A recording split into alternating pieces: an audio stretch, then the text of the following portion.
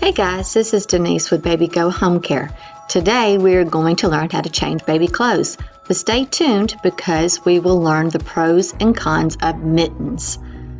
So today there's a baby in the hospital and I'm teaching parents how to change their outfit. So you want to have a outfit that's long pretty much when you're in the hospital because it's cold. And you're going to make a ring around and put the head in first.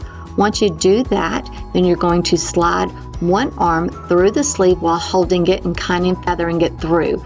Once it's almost to the top, you kind of take the sleeves, pinch it, and pull the arm through.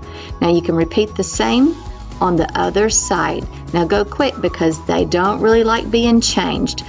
Once again, you're going to pinch it and pull it through and slide the baby's outfit down and pull it up.